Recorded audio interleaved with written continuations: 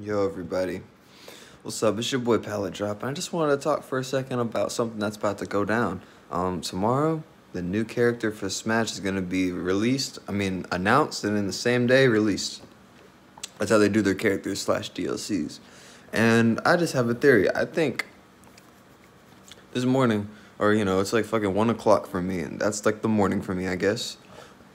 Excuse me, but here's my theory on that.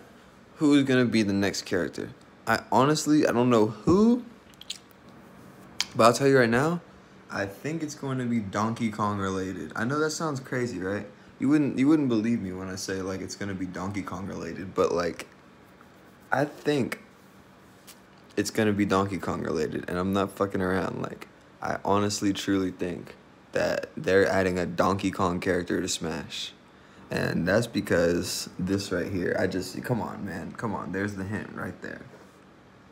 Who wants to Who wants to call me out on this? Who wants to say I'm right? Who wants to say I'm wrong?